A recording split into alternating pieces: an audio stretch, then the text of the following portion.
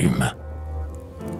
De la psychologie un soir prenant la lampe, j'osais, seul, m'avancer jusqu'au bord de la rampe, où l'on voit tout au fond vivre le cœur humain.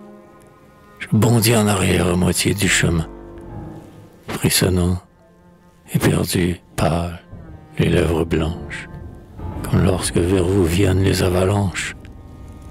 Le vertige faisait tourbillonner mon front. L'abîme, mes yeux avaient paru profonds.